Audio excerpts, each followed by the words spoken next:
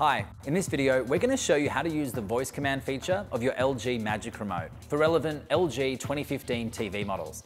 The voice command feature is great.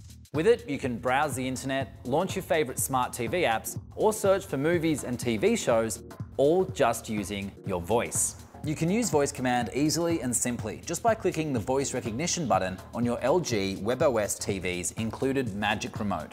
The great thing is voice command works in around 35 languages and it's been especially configured to listen to an Australian accent. It's really intuitive. When your LG Smart TV is switched on and playing TV, just tap the voice button on your Magic Remote. It's the one with the microphone on it. You'll see a pop-up appear on the screen, asking you what you want to search for. Because LG WebOS understands your natural language, you can speak normally, although clearer is always better. One of the most convenient features of the voice command function is to use it for quickly launching apps. Try this one, Netflix.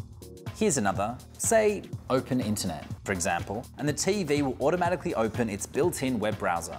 You can even use the voice command to enter text when you're in the web browser, or make a search. Then you're able to use the magic remote to scroll through your search results. If you're just kicking back and watching TV though, you can ask the magic remote's voice feature to switch channels or adjust the volume for you. When you know the channel you want, don't click it, just say it. You can even mute your TV using voice command. You can also use voice to check the weather, look for stock prices, or even search YouTube for videos. For example, say, search Harry Potter on YouTube, and you'll see a list pop up within seconds that you can choose from by pointing the magic remote at the screen.